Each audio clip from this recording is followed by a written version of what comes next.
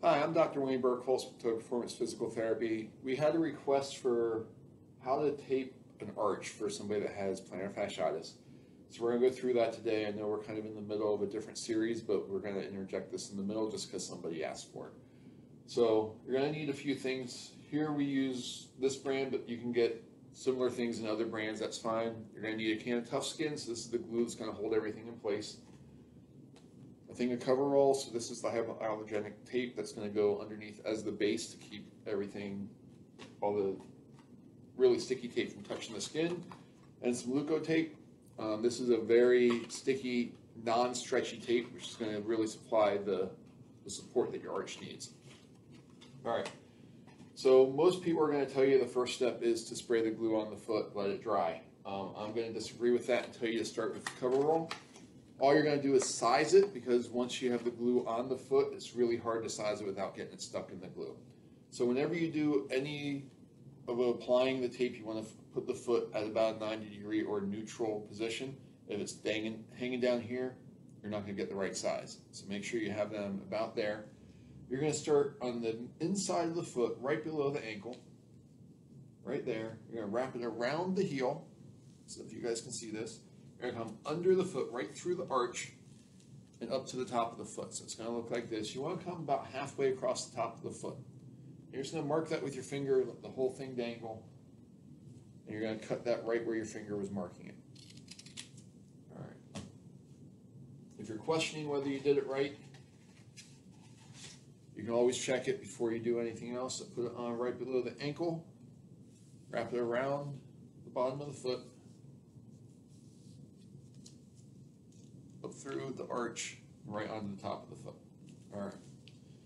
So now you saw where the tape is going to go. You're going to take your tough skin. You don't need a lot of it. You just want a, a thin coating on all the places that the tape is going to come in contact with the skin.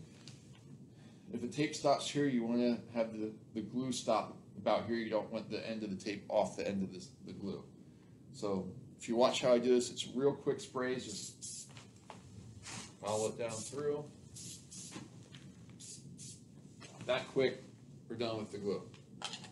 Now you want to let this dry and get, get tacky, and then we're going to put this on. So when you're using the cover roll, it's always going to curl on you like this. It's easier to put it on if you can get the curl out of it. So this is a good time to just kind of roll it the other way between your fingers.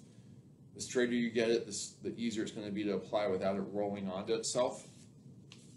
So you got time to kill while you're waiting for the glue to dry. This is a good way to spend that time. And then you can always just tap it.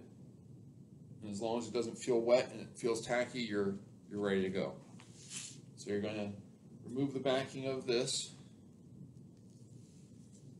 Now, whenever you're doing a taping, you want to try to get as few wrinkles in it as possible. My goal is always no wrinkles. It's going to be really hard to do that right here because of how the foot angles. So just do your best to get as few wrinkles as possible. So you're going to start, just like I said, right under the ankle. Lay it down flat. And then just guide it around. You're not trying to put any pull on with this. You are just laying it down. Like I said, this is not fixing anything. This is just the base. All right. Now that, like I said, her foot shouldn't really feel any different at this point because we're not pulling anything, we're not supporting anything. Then you're going to need Leukotape. So here, we need to size it up. You're going to size it so it starts a little bit before the end of the tape, comes around, and it's going to end inch, inch and a half away from the end of the tape. Because when you pull it, you're going to gain a little bit of length to it. You always want to be about an inch away from the end of the tape so you don't peel the whole thing off. Um, so I lay it down upside down just to size it. Like I said, it's really sticky, so it kind of comes off rough. Right there, mark it and rip it. Now from here, you're going to rip it in half lengthwise, just like that. Stick that to the table wherever you're working. You need three strips. We're going to cut one more that size.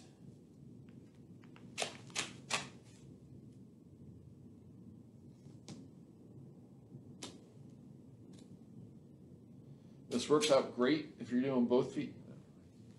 Um, if you're, you, because you're gonna need six strips, when you're only doing one foot, you only need three, you're gonna end up wasting one, but if it helps your patient, it's totally worth it. Alright, so you're not, you're gonna lay three strips down on top of each other. If you start them all at the same place, you're gonna end at the same place, and you don't want that to happen. You're trying to spread the support out over the area. So to fix this, what we're gonna do is we're gonna start it at different angles, even though they're starting at basically the same place.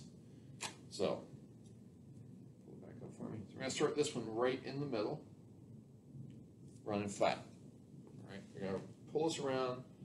This part is just your anchor, so we're not pulling anything tight. It's just basically finger tension on the tape. When you get to the the sole of the foot, that's when you're gonna hold it with your thumb, then you're gonna pull it tight with the other hand, right up and around, and lay it down flat. If you made that piece too long and it's getting too close to the end of the strip, or it comes off the end of the strip, feel free to cut it. All right, now you're gonna go on to your next strip. We're gonna change the angle that we start at by starting a little bit lower than that first strip. So now we're running at this angle rather than this angle. That's just enough to make it run at a different part of the foot. So when you come up, pull it tight, it lays at a different part of the foot. All right, you can just go back and make sure everything's set down tight. Then for your third strip, you're gonna start at the top, angling down. Start right there, angle it down. So now it's coming this way. We're gonna pull that down and around. Then when we get to the bottom of the foot, we're gonna anchor it with our thumb and we are gonna pull it tight. And for me, that one got a little long. So I have everything laid down. I'm just gonna snip this. And then lay it down tight. You're not looking to be pulling tight with the very end of the tape anyway, because that'll increase the chances of it coming off. So when you're all done, it should look like this.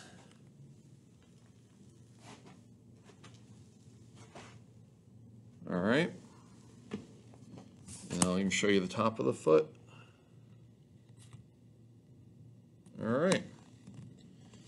So that right there is going to pull this arch up and give it a lot of support right here on the medial side of the foot.